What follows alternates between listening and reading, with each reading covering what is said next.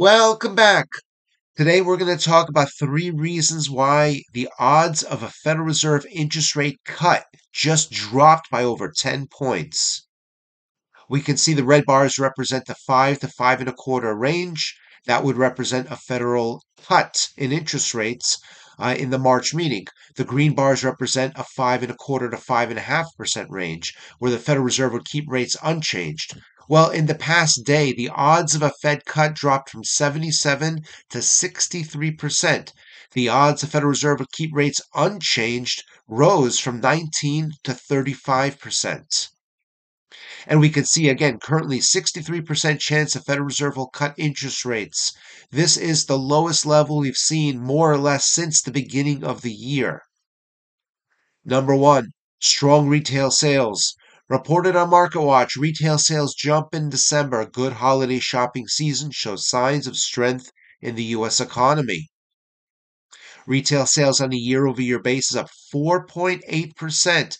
This is the highest level we've seen going back to January of last year. Certainly a great number. Now, on a month over month basis, there were certain sectors that certainly did improve. Uh, sectors that we should make note of include motor vehicles up 1.1% on a monthly basis. Also, non store retailers, that means internet sales, up 1.5%.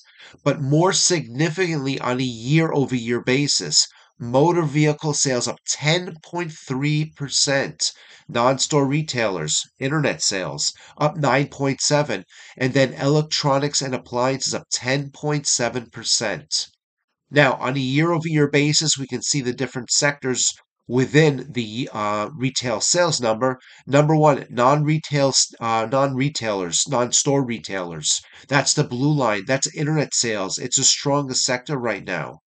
We also have electronics and appliances, also one of the strongest sectors, certainly trending to the upside, and as well motor vehicle sales. That's the yellow line. These represent the top three sectors. We can also take a look at gas stations down 6.6%, as well as building materials down 2.3%. Those represent the weakest sectors within the retail sales on a year over year basis. And we can see here, for example, building materials, that's the green line. That's second to the bottom. And then, of course, the red line, gas stations. Those are the weaker sectors within retail sales. But in terms of retail sales, comparing that to the S&P 500, that's going back a couple years. The S&P 500 is shown here in white. Now, currently, retail sales again up 4.8%. Notice something very interesting. The S&P 500 hit a bottom in mid 22 and then took off to the upside retail sales did not hit a bottom until late 22, early 23. In this case, the stock market really is acting as a leading indicator, anticipating the strong retail sales we have now. Now we can see here retail sales again on a year over year basis.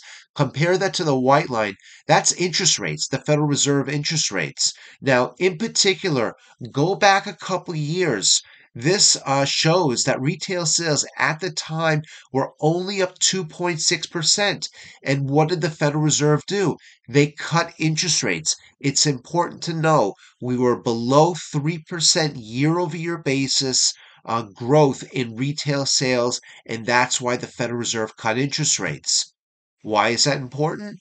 Well, we're right now at 4.8%, significantly higher. So we'd ask you, are Fed cuts needed with such strong retail sales? Second reason Fed officials are taking it slow. This from the other day Fed's Christopher Waller advocates moving carefully with rate cuts. Federal Reserve Governor Christopher Waller acknowledged Tuesday that interest rate cuts are likely this year, but said the central bank can take its time relaxing monetary policy. He said in part, when the time is right to begin lowering interest rates, I believe it can and should be lowered methodically and carefully. He also said, in many previous cycles, the FOMC cut rates reactively and did so quickly and often by large amounts. This cycle, however, I see no reason to move as quickly or cut rates as rapidly as in the past. They want to go slower this time. Well, the Fed funds futures are listening. Third reason, and this is not something that really is very obvious, but if we look uh, between the lines, falling energy prices really help stimulate economic growth. Well, take a look at oil going back to September of last year. We were o- almost at $95 a barrel for crude oil. We're currently just in the low 70s. Lower oil prices help stimulate the economy. The Federal Reserve watches oil prices. They may be thinking, well, if oil prices have come down so much, maybe we don't need to move that fast. Maybe low oil prices are helping us along the way. Now, in terms of oil prices, these different lines represent the different ETFs represented in the S&P 500. In particular, XES, XLE, XOP. What are they?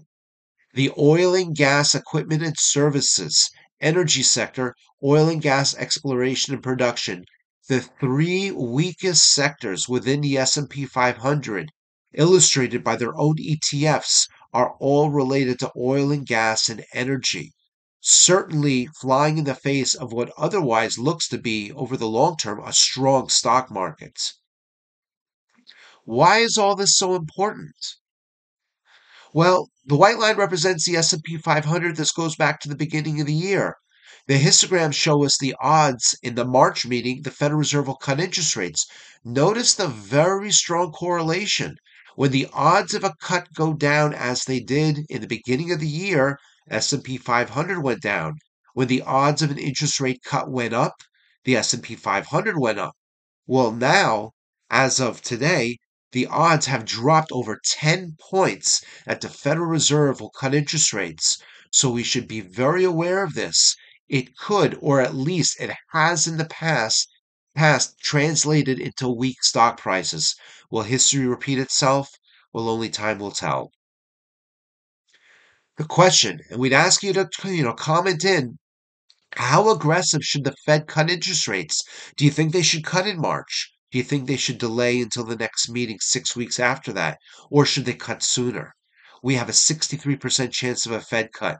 Do you think that's appropriate?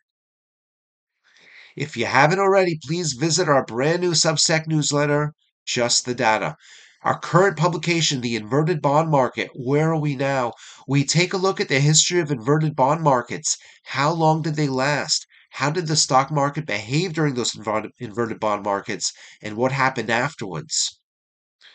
Just simply go to substack.com, free uh, to join, uh, no registration necessary, and just simply search for us, Just the Data. As well, please visit our Twitter page. We update on a daily basis, Just the Data. We hope this has been helpful. We look forward to seeing you back soon.